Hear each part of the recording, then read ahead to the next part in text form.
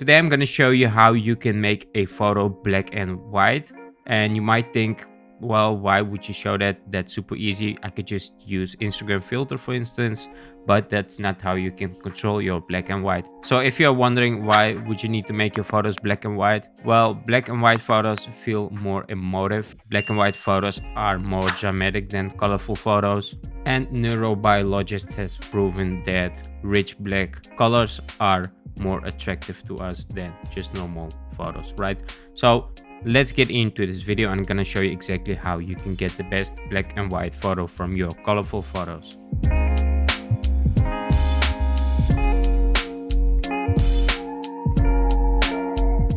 Back into Photoshop. If you want to follow along with the same photo, you can find the link in the description of the video. There you can download it. Alright, so first of all, let's go down here and add a black and white filter.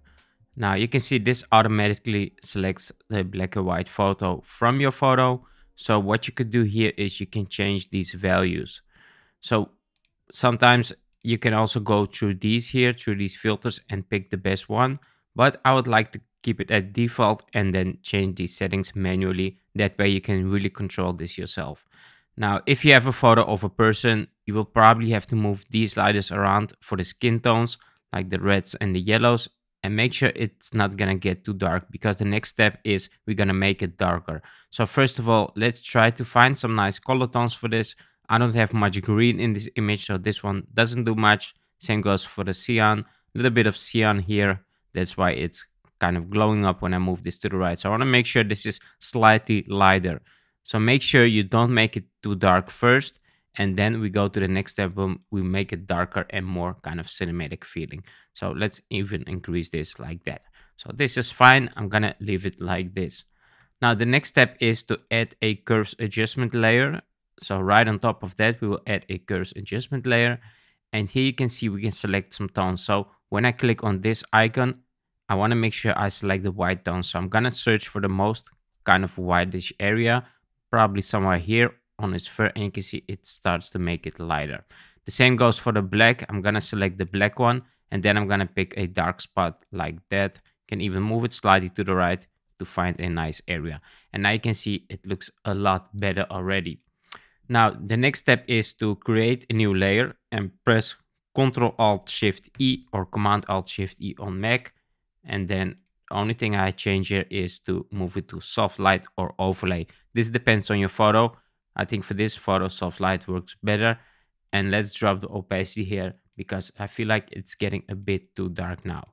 Just like that. And now we can compare this. Like, let's put this in a folder.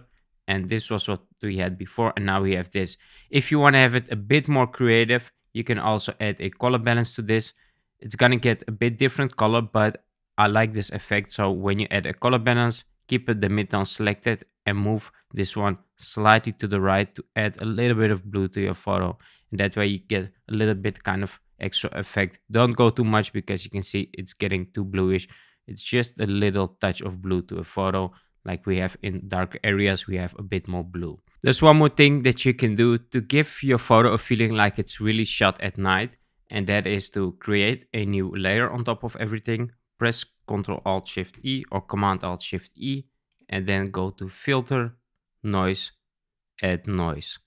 And with noise, you get this really cinematic kind of night feeling.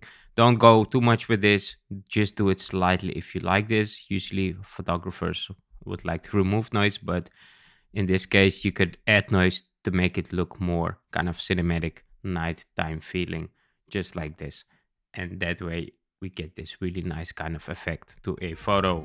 So that's pretty much it. Thanks for watching this video. If you want to learn more about photo editing or wildlife photo editing, check out my courses or maybe check out one of my other videos. Until then, catch you on the next one.